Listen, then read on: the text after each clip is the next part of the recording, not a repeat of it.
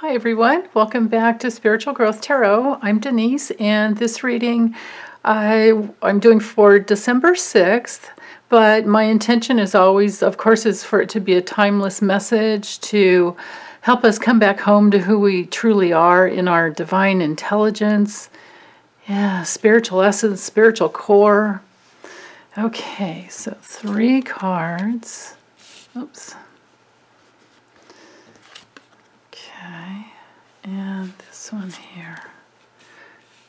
Okay, so we have the um, Seven of Pentacles for the theme, and then flanked by the Ace of Cups reversed and the Two of Wands reversed. Okay, so with the Seven of Pentacles, of course, this is all about nurturing uh, our investments, our we're looking at everything that we've done in the past because the sevens are they're they're the cards all of the sevens in the suits. And then also the um, the chariot. They're ruled by the chariot and the chariot has everything to do with moving forward.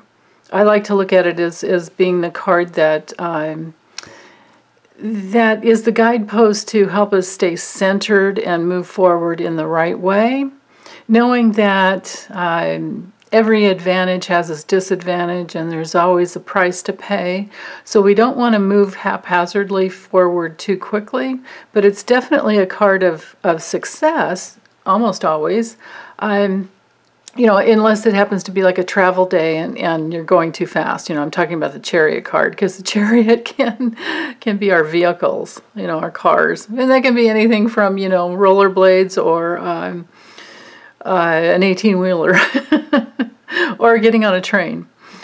Uh, but anyway, or, or a big rock star bus, maybe that, right? Any type of like travel by land.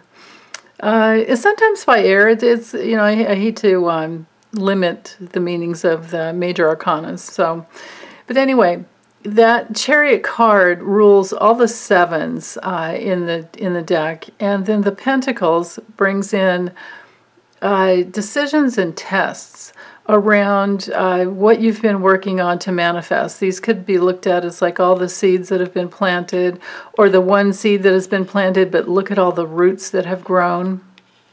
Is actually the better way to look at it, and now you have this tree that's coming up and you still have to keep watering it and making sure it has enough sunlight.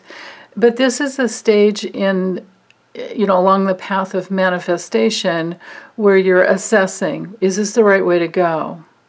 And when it's coupled with the Ace of Cups reversed and the Two of Wands reversed, well, that has us in that realm of do I really love doing this? I've been doing it for quite some time I, do I want to keep doing it or do I want to find a different way to do it, which would move you forward into like the Eight of Pentacles where you're actually like really doing it. and there's a lot of, you know, craft, you know, the craft and skills that come in with the, the eights. Uh, they're very, very powerful cards. The sevens have us in a place of um, reevaluating, reassessing, and trying to determine what it is that we really want to do some of the key words for the Seven of Pentacles is, uh, you know, hard work and planning and being patient. You can see he's very, very patient. And it's definitely a card of achieving your goals. But if your heart's not in it, then we've got a problem. And so the question is, how do we keep nurturing the goal that we're in and open our heart to it. Sometimes it's just the intention of opening to uh, the the um, the feelings of love in no matter what we do in our day to day little, you know. I mean, I, I can tell you, I, I don't really like. Um, what, what's my thing I hate the most around the house? I actually don't hate any of it, but I'm trying to think of what. Um, oh, I know breaking down boxes for recycling. Uh, let me think of some other things. Uh, I don't know. Unloading the dishwasher isn't one of my favorite things either. Taking out the trash, things like that. But every time I'm like in my, I don't want to do this, I just stop usually, usually, now not always, I'm not perfect, but usually I stop and go, oh my goodness, wait, I'm so grateful there's trash pickup. I'm so grateful we have that system of, of, you know, I mean, it's so important. And I'm so grateful for recycling. And thank goodness I don't have to wash my dishes by hand because I have a dishwasher, right? Because it wasn't always that way. So sometimes it's just about turning around your yourself and saying, "Hey, wait a minute. This is what I want to get done. This is what I want to accomplish. Let's just open our hearts to being grateful for everything that we have, and we can turn that around." Now, other times when it's the Ace of Cups reversed, and especially in, you know, because we're talking about manifesting here in actual physical day to day reality and um, you know, creating your co creation in the universe. So, if your heart's not in it, there's going to be some type of reassessment as to why. And some other keywords for the Ace of Cups reversed has to do with um, just feeling empty, and then maybe sometimes getting getting uh, like bad news around a project, and and now you don't know which way to go coupled with the Two of Wands reversed. Uh, some other keywords might be um, something being canceled. Like you've, what if you've been putting all of your energy and lots of work into something that was, you know, somebody ordered something and now suddenly they've canceled it, or maybe they want, they've rejected it and they want to send it back and you're dealing with, um, you know, refunds and all of those business challenges. So, if it's something like that, now sometimes it can also just be like pain in your heart and you're reassessing, oh my goodness, how did I get here and what do I need to change? And then other times it can be a breakup. And then you're looking at, oh my goodness, what, what do I need to change within me so that I can either reconcile with this person who's one who has broken up with me or maybe you've been the one that had to break up and now you're trying to reconcile your you know your differences within you that ha- have been um, maybe where your needs weren't met like where your real needs weren't met in relationship which are needs of like trust and safety and um, truth honesty things like that very, you know, in the earthly realm, the things that we need in order to be in a successful relationship or partnership, this, you know, partnership, relationship of any kind. Uh, but then bringing in the element of the Two of Wands, well, this is a limitation of options. When the Two of Wands is straight up, you can see the world is open, and it can sometimes be traveling. Um, but it's definitely like you, you have your one wand here that says, I'm here, I'm more than enough, and I want to do something with my life. But when, when it comes in reversed, we have to look at, oh goodness, maybe our options are limited in this one area. Um, and it can have to do with, especially if it was a relationship and a partnership, you realize you can't really move forward the way you want to because there is such limitations. And I'm thinking it's more around the areas of is this person or these people trustworthy? Some other options when it's the Two of Wands reversed, um, this can be like travel problems because, of course, you know, we've got the travel um, element here in this card.